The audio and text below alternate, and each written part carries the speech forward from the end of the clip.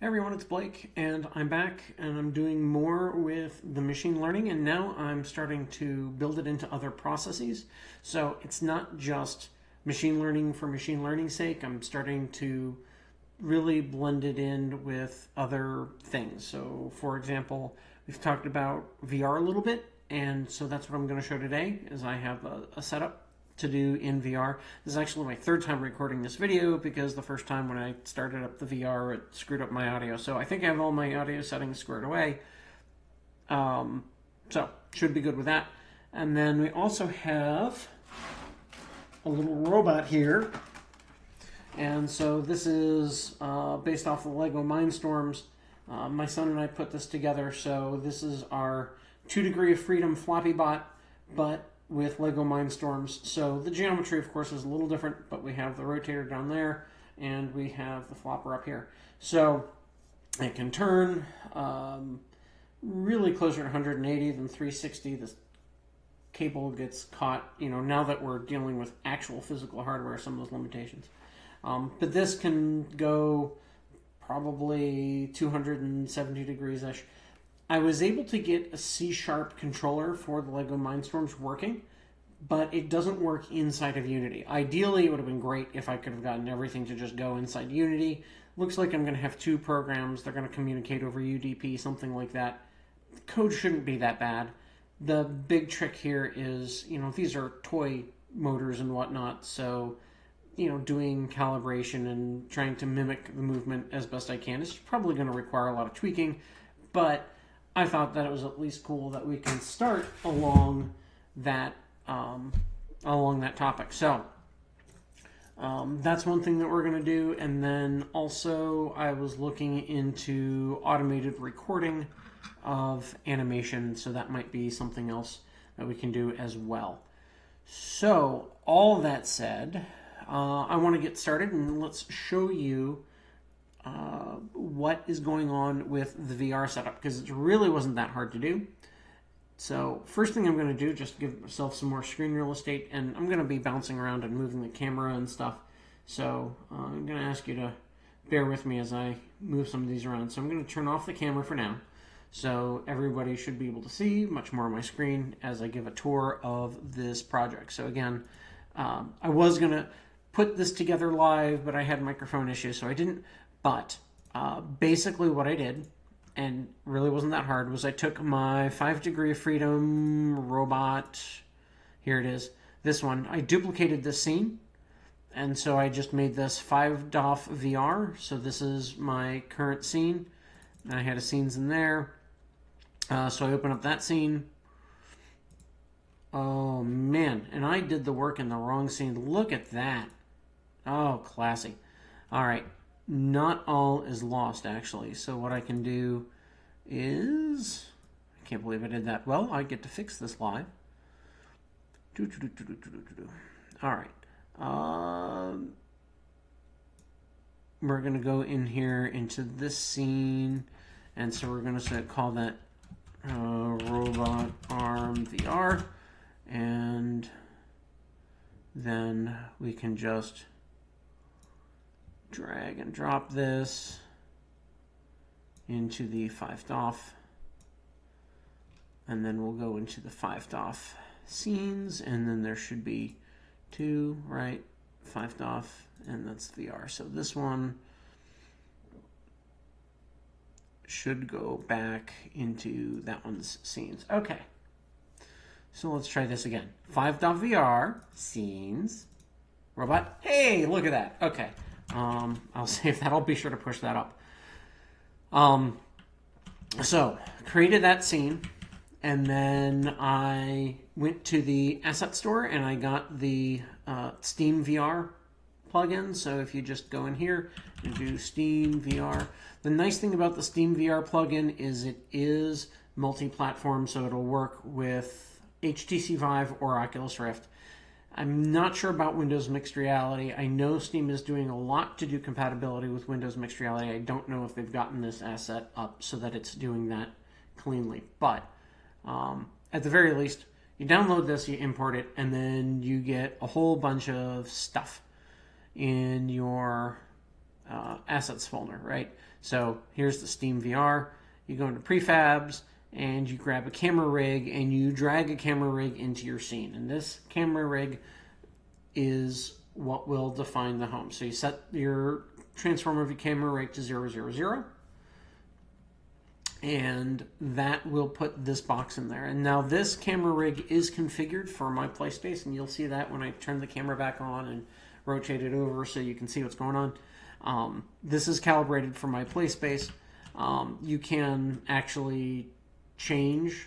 Oh, by default, it's at 300 by 225. So you can change it between calibrated and uh, various sizes. Okay, so it turns out I was absolutely wrong when I was saying that. Um, you build a floor. Uh, part of the reason you put a floor in, anytime you do anything with VR, uh, you should have a floor. And part of the reason there is just the human brain is used to having floors because we've had floors our entire lives. Um, and that gives a sense of um, comfort when moving around. Actually, it's not that it gives a sense of comfort, it just avoids a sense of discomfort by not having floor.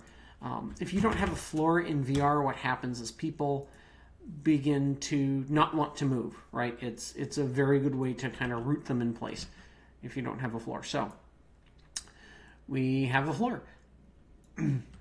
we have the lighting and we have all the default lighting and stuff. One of these days, I'm probably going to do a quick little project on like how to make a simple cube look good in Unity. You know, basically getting away from all the defaults and turning things up because a lot of the folks that you know we're working with here are have higher end graphics cards and can afford to make things look really nice.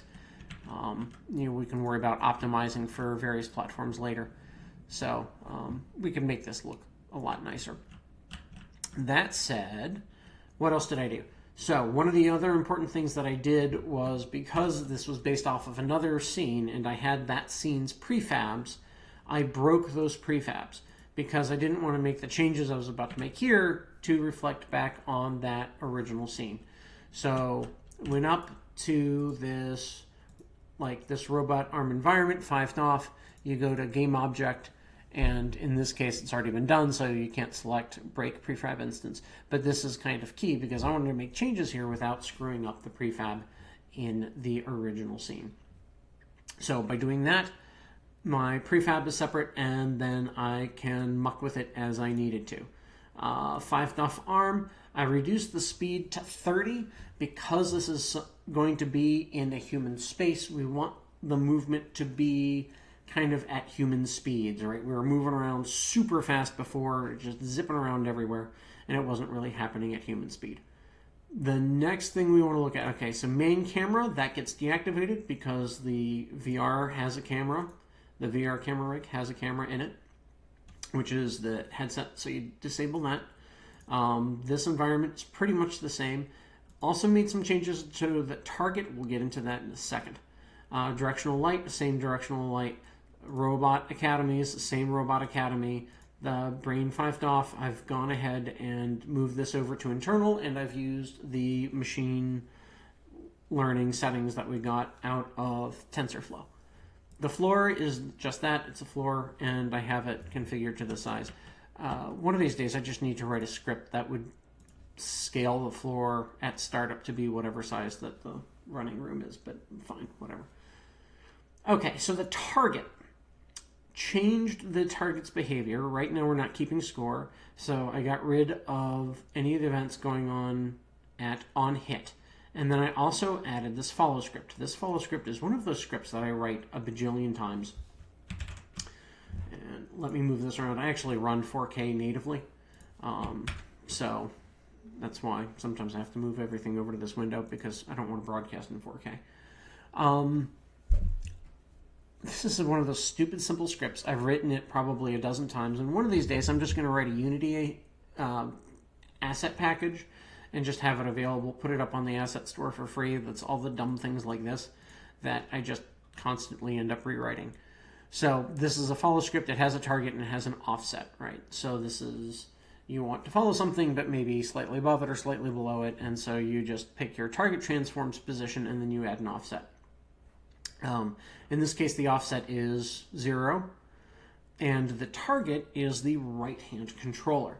Um, I originally put this on the headset, which was both cool and also highly disconcerting. When you have this robot arm that's like reaching for your face, um, it was really cool in that it was um, uh, uh, uncomfortable having this thing follow you around and, and try to hit you in the face. Um, so it was kind of neat uh, in in as much as it was also just really uh, weird to have happen. So in this case, now it's following my hand, and you can also see the target. I kept the uh, renderer on. So yeah, there it is. So I kept the renderer on so you can see the, the ball in the hand and you can see that it's reaching for the ball. So this would be great for, you know, any kind of like treat. It, it very clearly looks like uh, a, a critter going for a treat, which I think is just absolutely fantastic. So if I hit play here, and hopefully my controllers haven't gone to sleep, although I think they have. Um, when I hit play, Yep, my controllers have gone to sleep, and you'll see that it's just kind of idling because there's no target for it to get to. So it's just looking around randomly, um, which is interesting. Oh, no, there's the target. Oh, it is trying to get to that target. Oh, and the target's way on the floor where I can't reach it, so I can't grab it. So if I move this around... Oh. Now we have the controller, and you can see that. So, um, works. So the other thing is, if it reaches the controller, nothing happens, right? I'm not doing anything with that event. So let me go ahead. I'm going to turn the camera back on. And I'm going to move this over here. So pardon me as I readjust things. That's pretty good.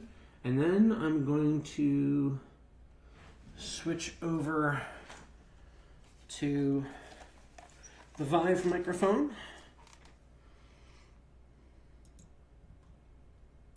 So you should still hear me now. Yep, audio levels look good. Okay.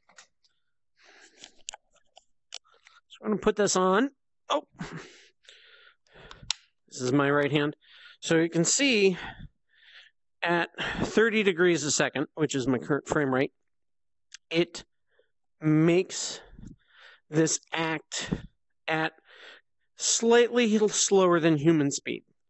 Right? So I can move out of its way faster than it is able to get me. Right, and sometimes it moves around and gets caught. But again, if I just twitch a little bit, it comes right for me. So this is really, really quite good. Right. So, some of you may know um, I have also made the game Don't Get Hit in the Face on Steam, which, you know, is just a cute little game jam, little experimental game that I put together, and it worked fine. So, just to get an idea of kind of what this is like when you set it up to the headset. So, in the camera rig, there's the camera head and there's the eye. And so our target, instead of following the controller, is going to follow the eye camera. And then we'll start that up. And again, you should see the ball show up in VR. And let me see. Let's fucking, there we go. Make that bigger. And already, even though I'm outside of its range, I can tell it's trying to get to me. Well, it's caught in a loop. It still happens every now and then. And then, like, dodge and run away. Like, uh, it got me. so, oh, that's really ominous actually looking up and seeing it like hover and, and try to hit me. So, um, as silly as this is, you know, when it's really going after you, especially if you have to move your whole body like 30 degrees a second, is rather quick. You know, and I can see the shadow of the target on me right now. Um, so when it really goes for you, it, it really goes for you, which is kind of cool and disconcerting at the same time. Um, and I can't get away from it. So again, if you're making a game based off of this, um, you're going to have to tweak these a fair amount for whatever it is uh, that you're doing. You know, I know one person mentioned that they're talking about doing a um, sword fighting game, right, where the the bot may be sword fighting with them, and uh, so it's really easy to get to superhuman speeds. So, you know, that kind of thing, and you know, boy, there is a sweet zone where it just really goes after you. Um, some places it goes after you more than others. But um, anyway, I thought this was fun. I thought this was cool. Um, people seem to be uh, interested in what I'm doing with this. So this is one use case for having these kinds of algorithms. And again, what's cool here is that this isn't animated by an animator. You know, this is something that's done, you know, this is animated by the machine learning algorithm. So um, it behaves very differently than what a lot of people think that a robot might work, how a robot might behave. Um, and in fact, it is different than how a lot of robots who are manually programmed do behave. So, um, let me take this off.